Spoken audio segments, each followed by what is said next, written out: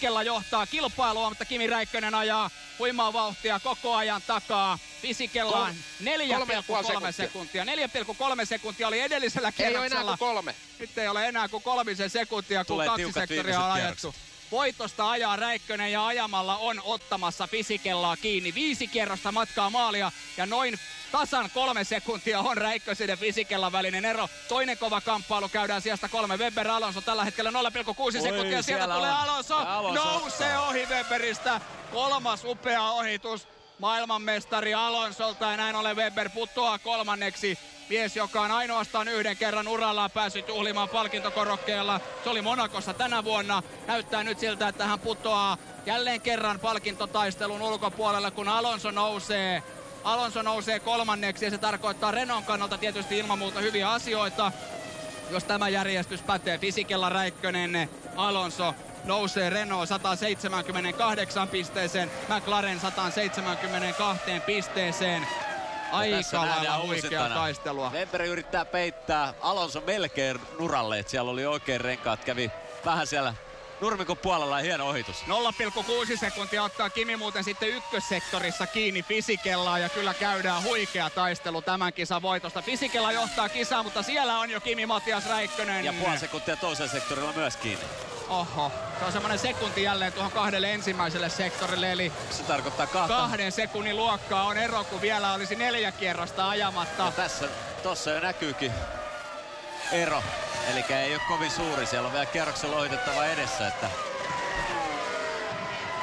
Se ero 49 ajetun kierroksen jälkeen on tasan 1,8 sekuntia Fisikellan ja Räikkösen välillä.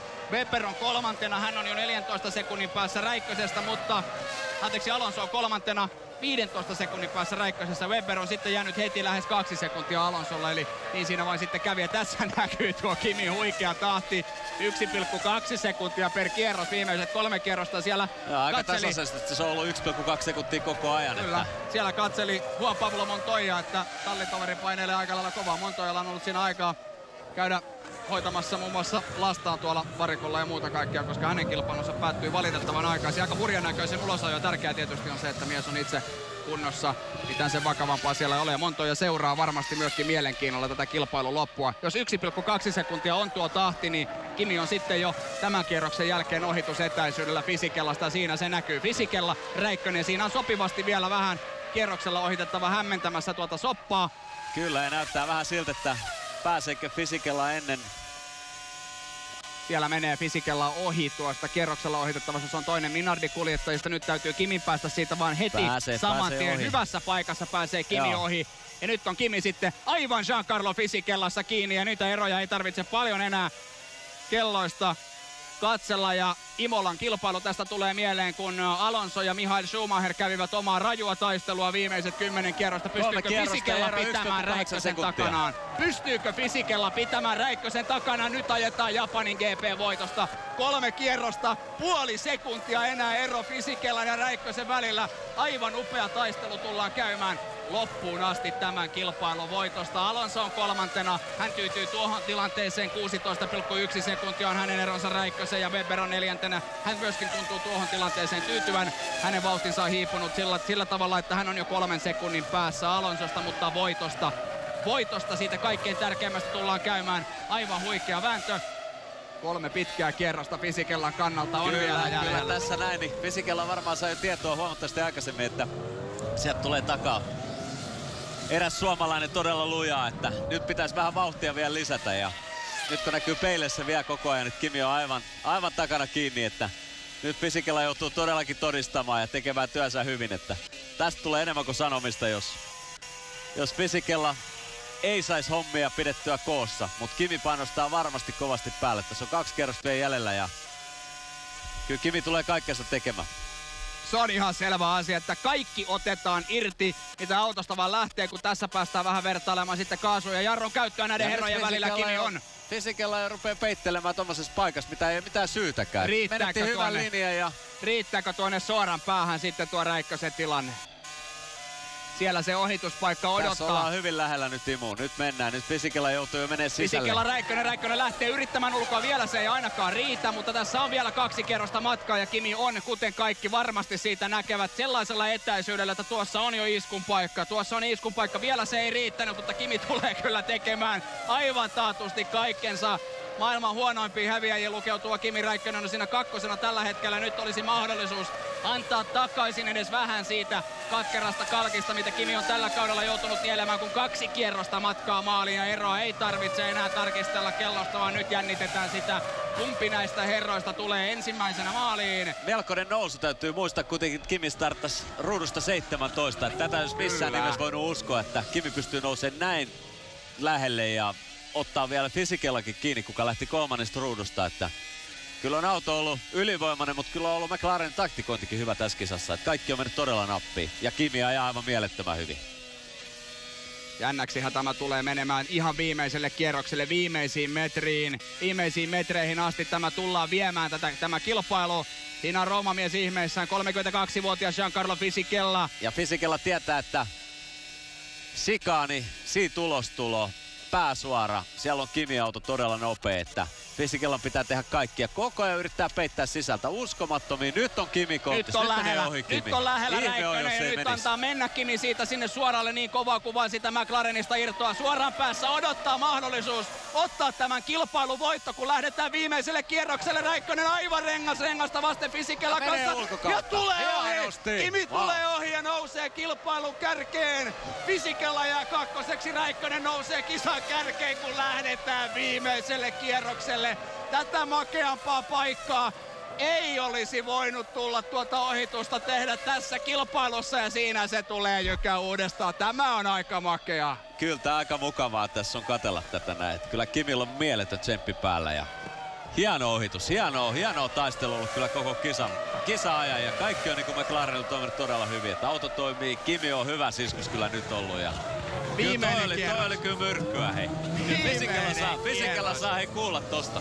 Siellä tulee kyllä sen verran tekstiä, että Fisikella saa asennossa seisten korvat punaisena kyllä kuunnella, että mitä tapahtui siinä toiseksi viimeisen kierroksen lopussa.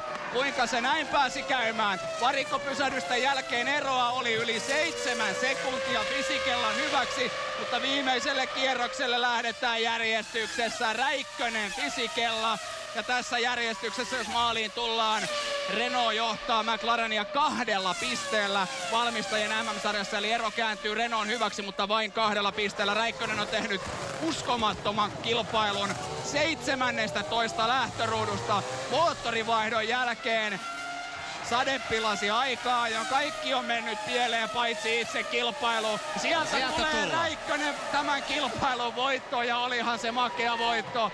Sen näkee näistä tuuletuksista myöskin. Kimi Räikkönen ottaa uransa yhdeksännen ja tämän kauden seitsemännen voiton. Ne tekee siinä mielessä myöskin kyllä harvinaisen tempun, että edellisen kerran kun joku on pystynyt voittamaan noin alhaisesta lähtöruudusta, oli Rubens Kello Saksassa 2000. Räikkönen ruudusta 17 kilpailun voittoon ja ei kyllä epäilystäkään siitä, kuka on tämän kilpailun suurin sankari. Kimille kerta kaikkiaan makea, kerta kaikkiaan makea voitto tässä kilpailussa, joka pääsee vähän antamaan takaisin niitä kaikkia katkeria paloja, mitkä hän on joutunut tämän kauden aikana nielemään. Joo, kyllä niitä on aika paljon jouduttu nieleskelemään tuossa kauden aikana, mutta ää, kyllä nämä tämmöiset yksittäiset hyvät kisat niin kyllä maksaa aika paljon takaisin. Ja kyllä toi on ihan selkeää, että jos ei, jos ei noin paljon olisi ollut ongelmia, niin kyllä Kimi olisi voinut olla hyvinkin se maailmanmestari tänä vuonna, mutta ei vaan ollut, mutta tässä on vuosia paljon edessä ja Kimi näyttää koko ajan, että on toisten vauhdissa ja parempikin silloin, kun tarvitaan olla. Tämä oli kyllä vahva suoritus tiimiltä, niin Kimiltä. Kyllä tämä oli hienot taktikoinnit. Just silloin, kun piti hyökätä, silloin hyökättiin, käytettiin kaikki kierrokset hyväksi. Otettiin koneesta kaikki irti. Että oli, oli todella hienoa katseltavaa. Aivan loistava suoritus Kimiltä viimeisillä kierroksilla. Seitsemän sekuntia oli Fisikellan johto. Varikko pysähdysten jälkeen ja Räikkönen ampui tuon eron välittömästi kiinni. Ja viimeisellä kierroksella, viimeisen kierros, kierroksen ensimmäisillä metreillä ohi Fisikellassa niin sanotusti 11 hetkellä. Juuri siinä kohdassa, kun se makeamalta tuntuu, niin Räikkönen painoi ohi italialaiskuljettajasta Kimi Räikköselle siis kauden seitsemäs voitto. Suomalaisittain muistamme tietysti Mika Häkkisen kauden 98. Silloin eh, Häkä otti kahdeksan voittoa yhdellä kaudella. Räikkösellä on mahdollisuus tuohon samaan tilastoon tällä kaudella. Eli vielä yksi voitto tuolta kauden päätösosakilpailusta viikon päästä Kiinassa, niin Kimi tasaa tavallaan tuon ennätyksen sitten Mika Häkkisen kanssa. Tässä näkyy kilpailun lopputulokset sitten. Räikkönen Fisikella Alonso tänään palkittu pallille. Mark Webber neljäs, Jenson Button viides, David Coulthard kuudes, Michael Schumacher ja Ralf Schumacher veljekset vielä sitten M-pisteille. Eli paalupaikkamies Ralf Schumacher hiipui lopulta kahdeksanneksi kolmen pysähdyksen taktiikallaan. Näin siinä sitten vain kävi. Pitson ja Trulli Montoya, kolme keskeyttänyt ainoastaan. Christian Albers pääsi tuon tulipalonsa jälkeen vielä takaisin radalle ja hän on viimeinen maaliin asti ajanut, vaikka hän jäikin neljä kierrosta kärjelle. Takuma Sato kotiyleisönsä edessä ensimmäistä kertaa ilman pisteitä. Hän on tänään 13. Ehkä yksi pieni pettymys tämän päivän kilpailussa, mutta sankarista siitä ei ole epäilystäkään. Hän tulee Suomesta, Kimi Matias Räikkönen oli tänään jälleen todellinen hallintopäällikkö ja otti tämän tilanteen haltuun. Ja siinä päästään myöskin sitten katselemaan hallintopäällikön tuuletuksia, kun hän sieltä autonsa tuonne varikkoalueelle jälleen tuo.